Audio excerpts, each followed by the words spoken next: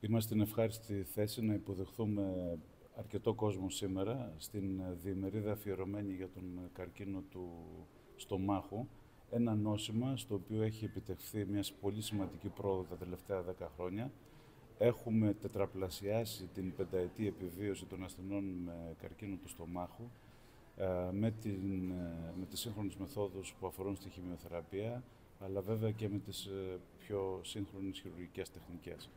Αυτά τα ζητήματα θα συζητηθούν διεξοδικά στην ε, διημερίδα που η Χειρουργική Κλινική ε, οργάνωσε, προφανώς με επιτυχία από ό,τι ε, βλέπουμε.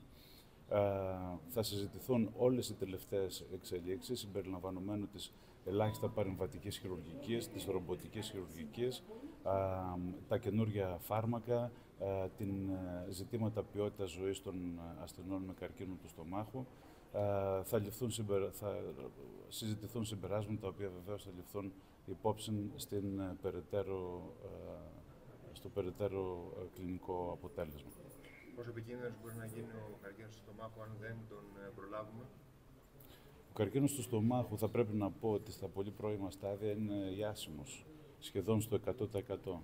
Γι' αυτό και εμφατικά δηλώνω ότι η γαστροσκόπηση είναι μια εξάρτηση την οποία θα πρέπει καθένας μας ε, να κάνει, να επισκεφτεί τον γαστρεντερολόγο του οποίου θα ορίσει και τη συχνότητα της εξέτασης αυτής, προκειμένου να έχουμε τα καλύτερα δυνατά αποτελέσματα. Από εκεί και πέρα, όσο πιο προχωρημένο στάδιο βρίσκεται, όπως σε όλους τους καρκίνους, τα αποτελέσματα είναι και λιγότερο ενθαρρυντικά. Άρα η έμφαση δίνεται στην πρώιμη διάγνωση του γαστρικού καρκίνου.